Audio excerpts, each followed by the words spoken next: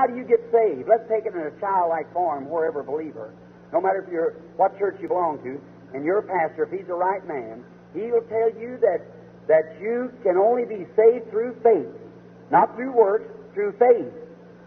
Now you believe that He saved you. Now, first thing that comes from the heart, you believe it. Then you walk up and confess and say, I accept Jesus as my personal Savior.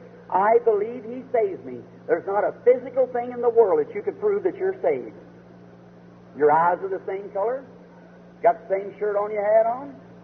Go outside and the old gang says ain't nothing to that. But you believe there's something to it, don't you? Now, how? What if you say, well, I'm going to see how it works out. It'll never work out until you keep your testimony going. You believe you're saved. You act like you're saved. You say you're saved. And you associate with those that are saved, and it works salvation. Is that right? And the same thing will take place by divine healing.